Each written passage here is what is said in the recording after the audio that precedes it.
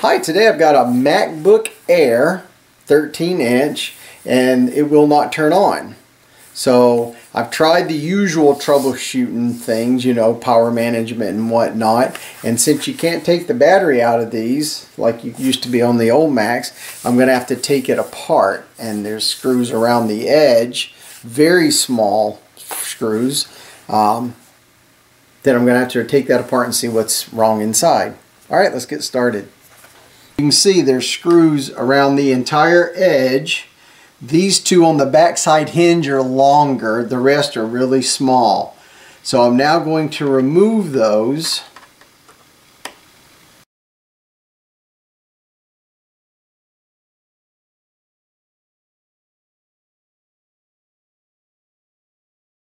So you can grab the back side where the hinge is, is a good little part. And that comes right off.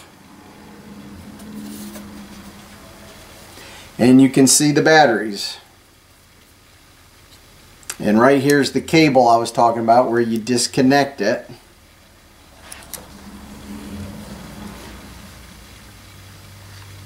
Right here.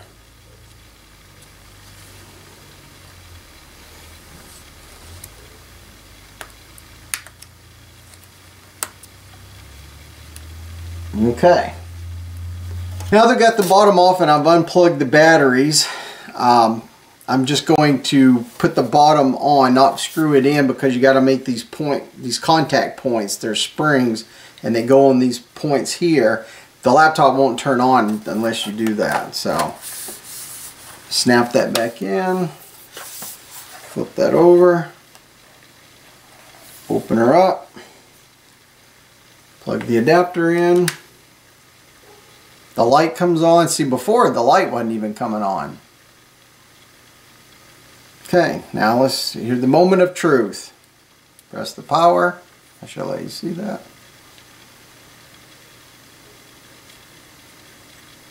And bingo, it comes on.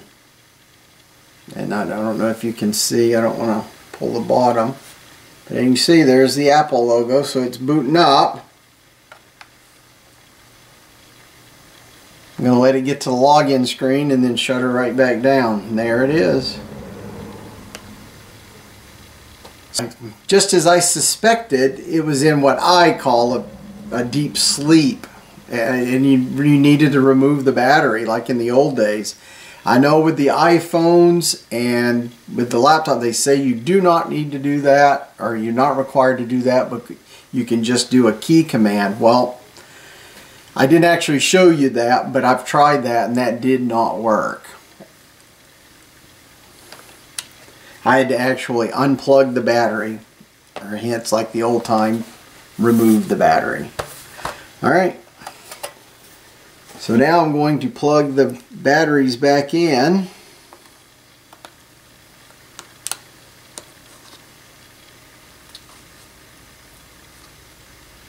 And we'll put the bottom back on and try turning it on just one last time before I put all the screws back.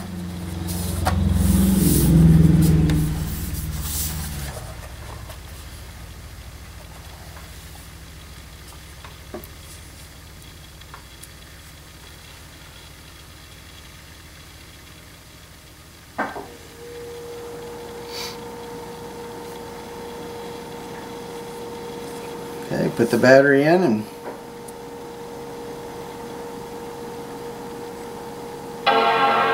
There we go. And I've got the screen again.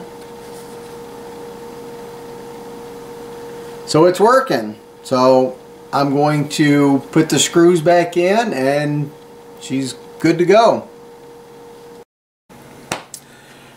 Okay, so I hope you've enjoyed the video and it helped you out. If you have a MacBook, uh, MacBook or MacBook Pro or MacBook Air, um, if you have this issue where it won't turn on, you're probably going to have to take that bottom off, unplug the batteries, plug them back in, and you'll be good to go.